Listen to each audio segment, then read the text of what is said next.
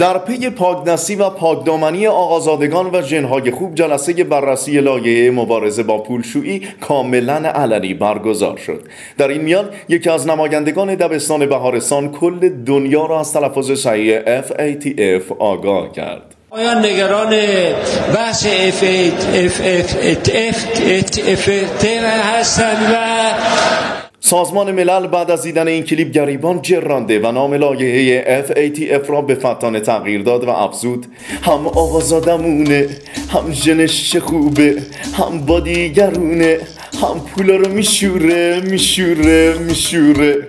مجلس نیز بعد از این رخداد تصویب کرد. هر نماینده قبل از سخنرانی خویش باید در مجلس علنی سه بار بگه روی رون لر یه لاخ مو روییده زیر رون لر یه لاخ مو روییده زیر روی رون لر یه لاخ مو روییده. ببخشید.